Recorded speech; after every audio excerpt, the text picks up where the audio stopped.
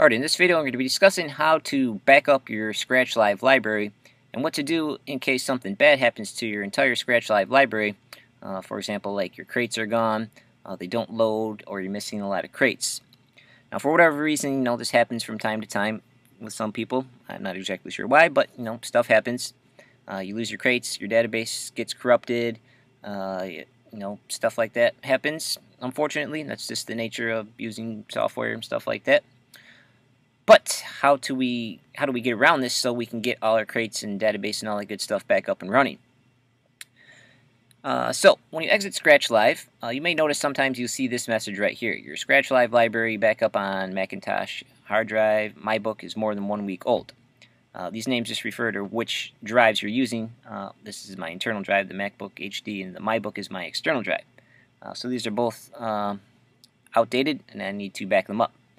Now, little some people get confused on this. This doesn't this option doesn't back up your actual music files and all that stuff like that. It just backs up your Scratch Live folders or your Serato folders now in 2.2 and it basically just makes a copy of them.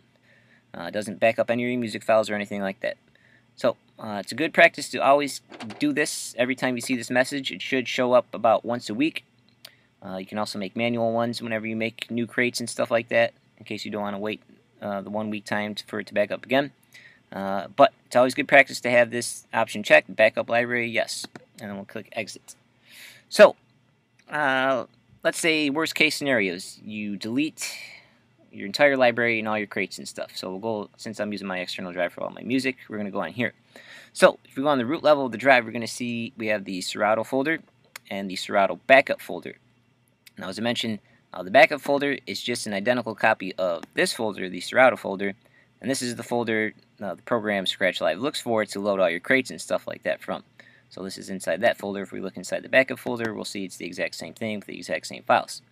Uh, as I mentioned, it's just a copy of this folder right here. So worst case scenario is, uh, let's say your database gets corrupted and none of your crates load, or let's just, no, screw it, let's just say you delete your Serato folder like that, and you also emptied your trash so you can't get it back from there. Let's let it delete. Alright, so, oh crap, we just deleted our entire Scratch Live library. See, no crates at all, all the crates are gone. So how do we get the all our crates back using the backup folders? Well, we got to close out of Scratch Live. We don't want to do it with it running.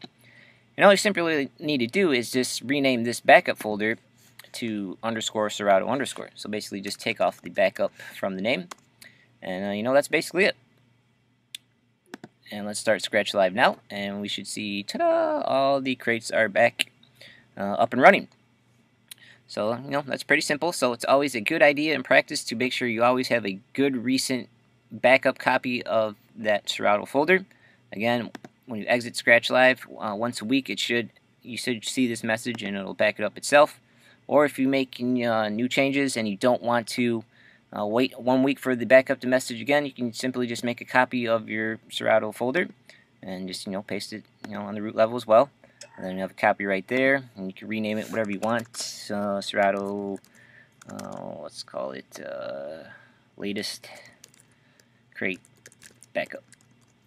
Alright, just like that. So, you know, just in, again, something happens to your Serato folders. Uh, let's delete both the regular one and the backup one. You know, as long as we have a copy of, you know, the folder, all you really need to do is just uh, rename it to underscore Serato underscore. And that will always get you back up and running. Easy as that. So that is how you back up and restore your library in case worst case scenario is, you know, you lose all your crates or your database and stuff like that. Uh, you know, you'll always have a safe backup to restore and fall upon. And if you're not using an external drive and you're doing everything on your internal drive, then you're going to want to do the same thing I just showed, uh, except you're going to do it on going to your music folder, and you'll have your Serato folder and your backup folders uh, in your music folder on the internal drive. Just do the same thing there uh, rename the backup folder uh, to Serato underscore Serato underscore.